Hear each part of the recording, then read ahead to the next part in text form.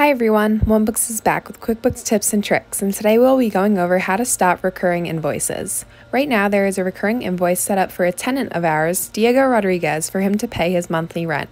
Unfortunately, Diego is moving out of our building, so we must stop this invoice so he doesn't continue to get an invoice emailed to him each month. One way to stop the scheduled invoice is to click on Edit, then, under Type, switch Scheduled to Unscheduled. Then, just press Save Template. You may choose to do this if you believe Diego will return to rent in the future, and you can easily reinstall the invoice by pressing Use. If there's no chance Diego will be back to rent, you can also delete the invoice completely. Simply press the down arrow and select Delete. Then select Yes, I'm sure, and it will be deleted.